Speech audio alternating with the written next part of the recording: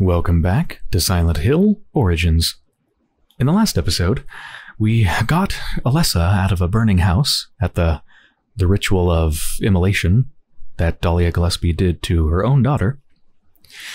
Got them out and then sort of just collapsed after that, and then woke up in Silent Hill, on the streets of Silent Hill, during the day. Not sure what the hell happened, but we've come to Alchemilla Hospital looking for Alessa, see if we can check up on how they're doing. And, uh, not surprisingly, there's monsters in here. At least there are now that we've gone to the other world by going through that mirror that allows us to switch between the normal world and this world, the rusty one. So we just went down these, uh, the staircase right here. Gonna check out this floor. Now that we're in the other world. And I'm gonna take my jug of alcohol with me and throw it at somebody. Oh, wait, one thing first. Our status at the bottom left of the screen looks like it's kind of reddish, so I should probably drink something. Health drink. There we go. Nice.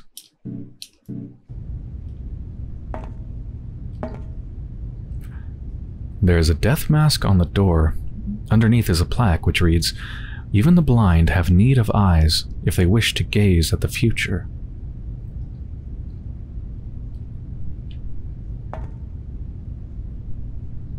So I take it I'm supposed to put something on the death mask, something in place of its eyes, maybe. Wait, how do you use items on things? Like... Like, what if the weird egg is something that I'm supposed to put in it? Do I just use it? Can't use that item here. Oh, yeah.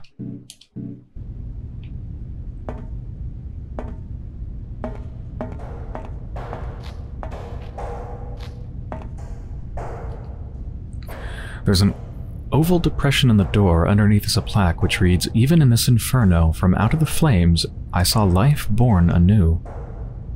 Oh, this is probably the one that needs the egg. Life born anew. That looks like a roughly egg-shaped slot. Yeah. Cool. Oh, that's to the bathroom.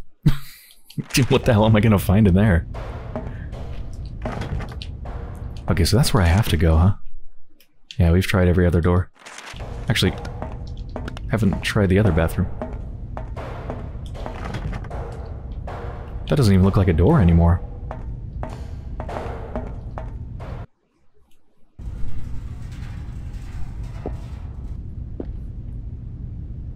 Oh, a mirror to the normal world. So, that's going to be a thing, isn't it? Using the switching between worlds to get around obstacles, I think. Right? Because, like, this is probably going to take me somewhere that I wasn't able to get before. Okay.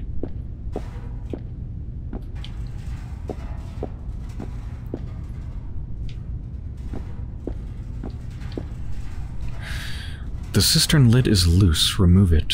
Sure.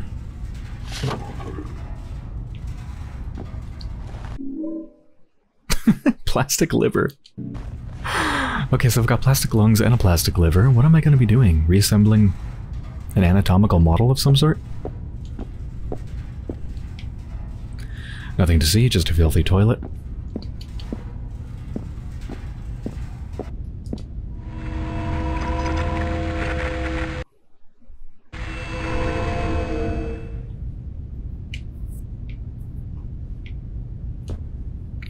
Bunch of cleaning products. Not that anyone seems to do much cleaning around here.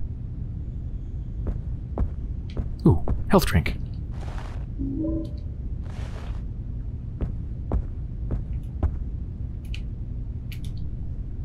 Someone has written on the door, it says Amy, 31.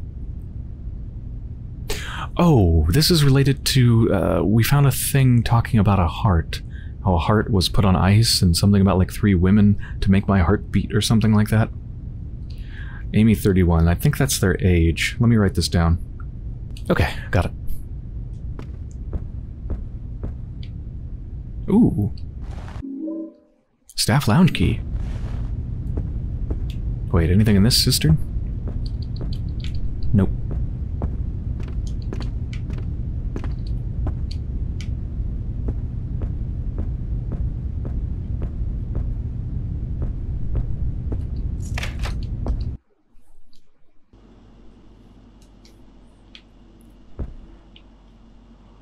So, we should be safe in this world, right? No enemies? Not that I'm gonna put down my giant jar of alcohol. What kind of alcohol is in here, by the way? Like rubbing alcohol or what? Alcohol? Medicinal alcohol. What is medicinal alcohol? Made with thick, heavy glass. It's empty. Ah.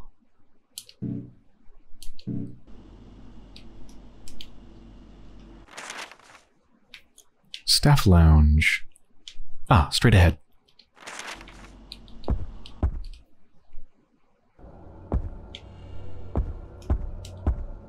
Whoa, what? That, those view changes just really confuse me. Ooh, nice camera angle. Oh, that's really cool.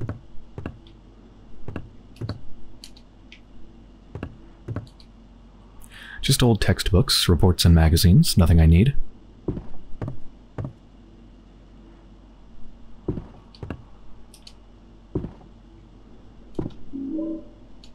Still don't know what energy drinks are for.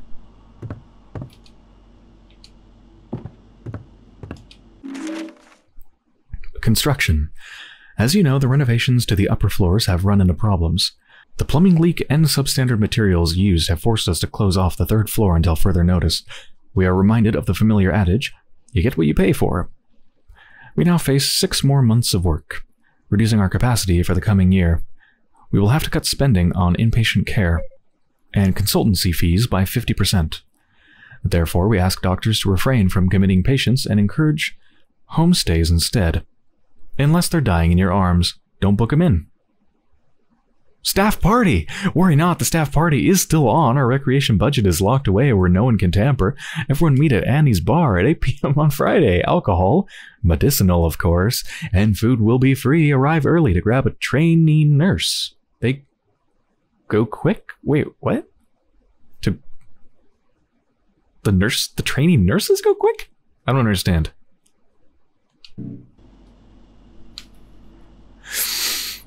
Ah. Capitalism. Profit driven healthcare. Ooh. Lucy 23. I got a toaster. Exam room key. I got a toaster. I never thought I would read that in a Silent Hill game. At least not in the context of it's a weapon.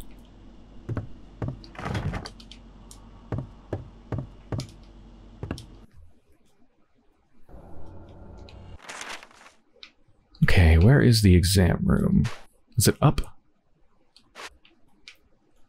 Oh no, it's just right over here. Straight ahead and then to the right. Oh, this is probably where we're supposed to put all those parts. It's a plastic anatomy doll that's missing some parts. Take a look.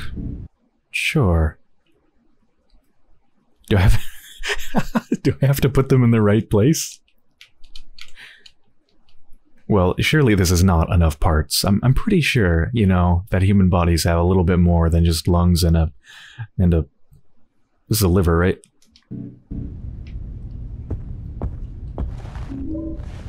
Another medicinal alcohol bottle.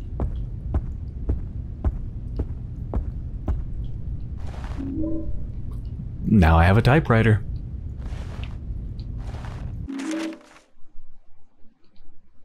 To all staff, it is forbidden to enter my office unaccompanied until further notice.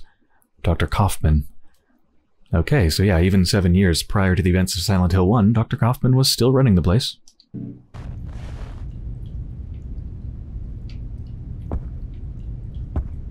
Hold on. Look at that trash can. Right there. If I'm not mistaken, it looks like it's entirely full of cigarette butts.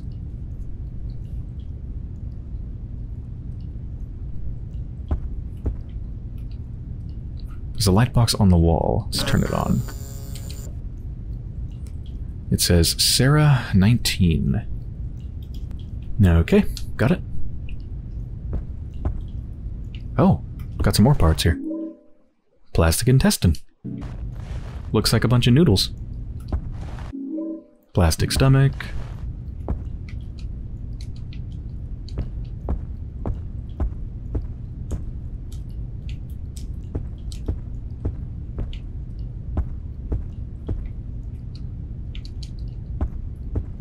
With this camera angle, I feel like something's supposed to go on here. Medical books, nothing out of the ordinary that I can see.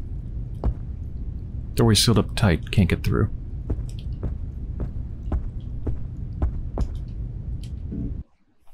Well, still lacking some things.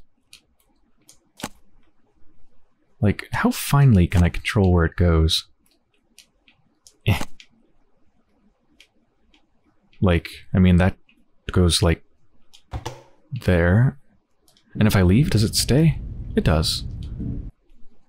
Okay. Well, this shouldn't be too bad. I mean, lungs are like... Eh. Like... There. Uh...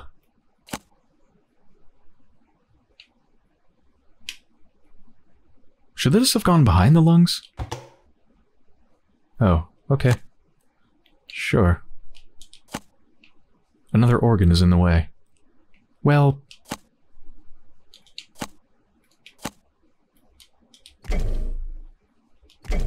What's that sound?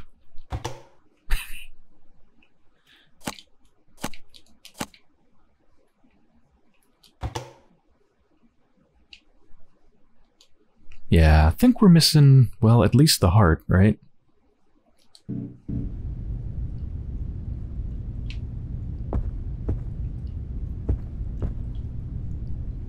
So what do I come away from this room with?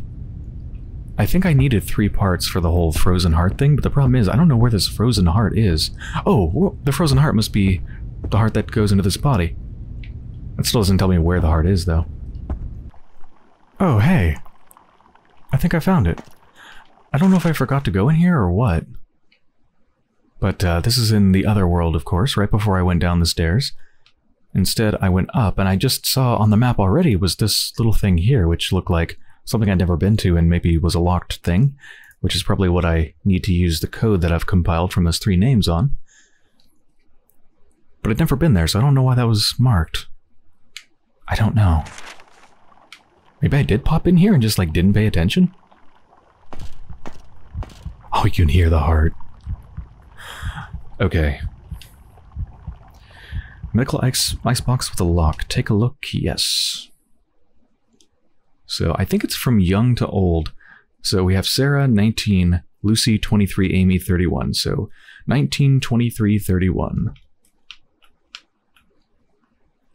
God, the movement is so weird on the cursor. It, it, it has an incredible, mind-blowing amount of momentum. It starts so slow and gets so fast.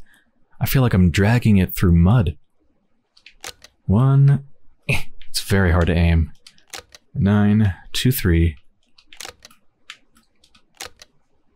Three, one. Maybe it's the reverse. Maybe it's the oldest age to the youngest. Aha. Okay. Plastic heart.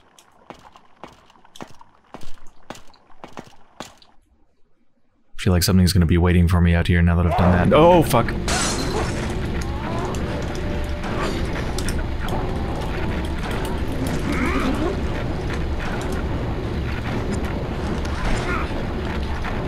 Throw a toaster.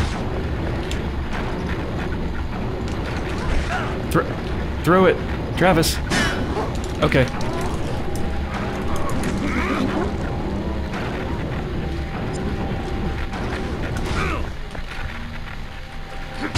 Oh, wait.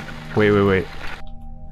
Let's reevaluate. I was pressing the wrong button because I'm so used to the old combat. I wasn't... That's why I wasn't throwing it. I wasn't pressing the right combat button. I wasn't prepping it. Also... I guess I can go into this menu to switch my weapons, which I probably should do, because... Damn, trying to switch in real time when somebody's up in your face? Not good. Let's, uh... Let's go with the typewriter.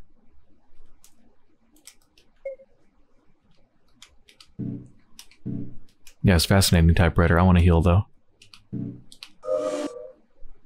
That didn't even make me green. There we go. Okay. It's not the trigger, it's the bumper.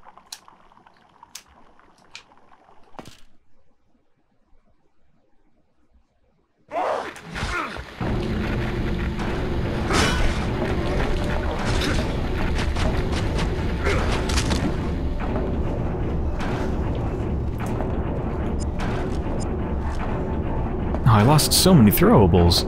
I guess if you get, like, grabbed onto while you're holding them, you just drop them and then they just disappear into the ether. Okay. Uh, down the stairs? Yeah, down the stairs. Oh, come on!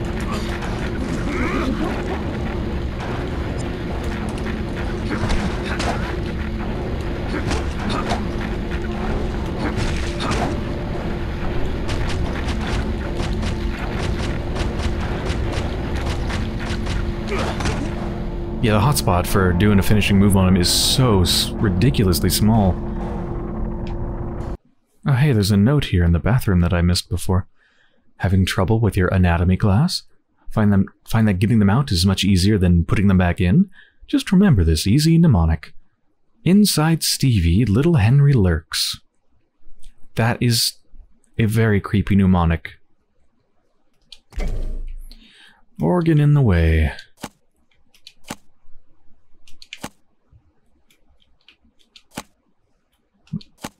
Where does it go exactly? Oh, like, do I have to... I probably have to put them completely in the order that it said in the note, right? Oh, maybe not. Ooh, hi. The doll's eyes have opened. All the organs have been returned to the doll. Oh, the eyes are open. That means the door is open. I didn't need to put anything in the door itself, I just needed to open the doll's eyes. Never mind. I need to steal those peepers.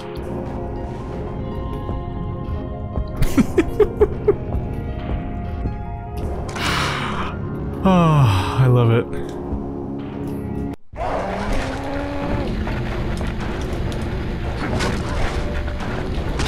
Oh, it broke.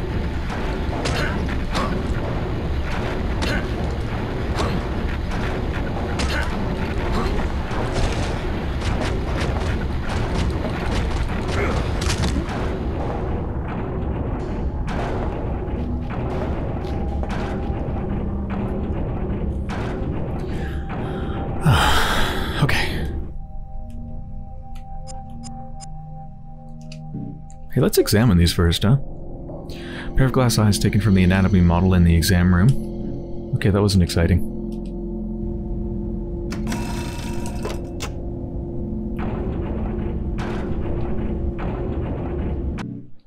Existential thought. Do you think the little green plus symbol next to Travis's hands will get darker and darker as they punch until their hands finally just crack?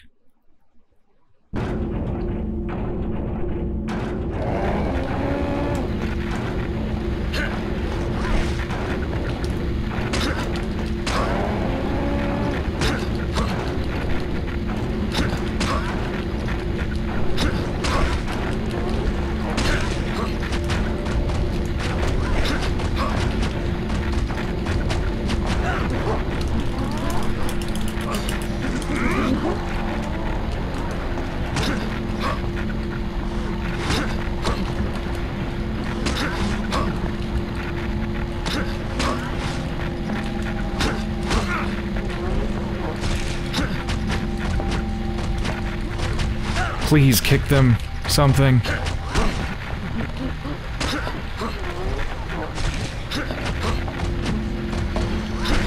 Please turn around. What are you... This combat is so bad, I hate it. It's real, real bad. Maybe I should just ignore him.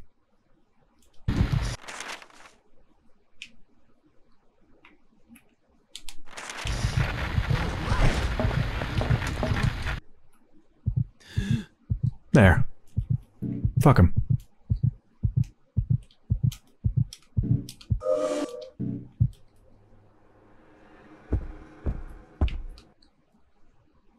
Wait, what? Is that a doorway?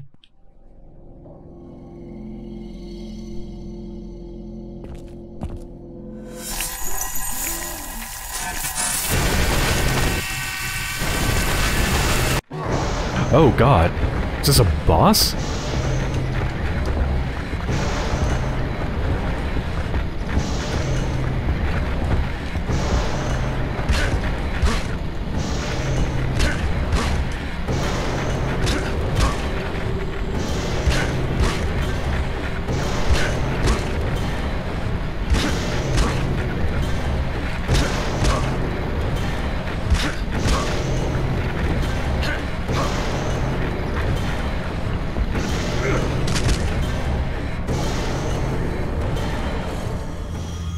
That was an exciting boss fight.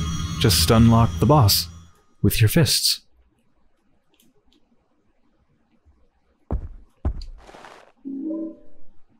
The future piece.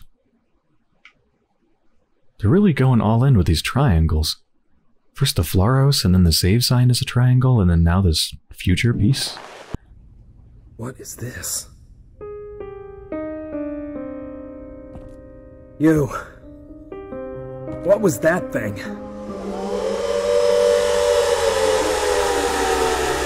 This isn't happening.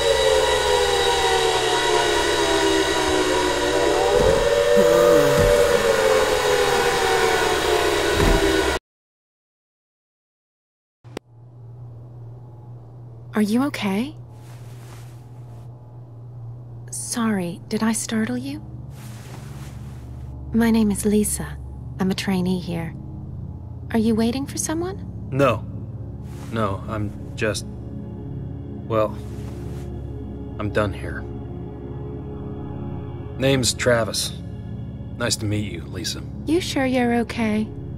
You look a little shaken up. Sorry. No, it's okay. To be honest, I've been a little off all day.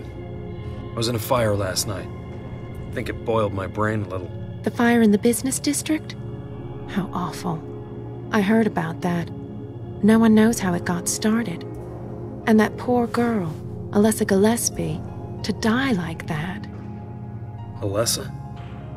She died? Yes. Sorry, did you know her? No. But. Never mind. Well, I have to run. Dr. Kaufman wants to meet me over at Cedar Grove Sanitarium, and he'll be mad if I'm late. Maybe see you around? Take it easy, Travis. You too, Lisa.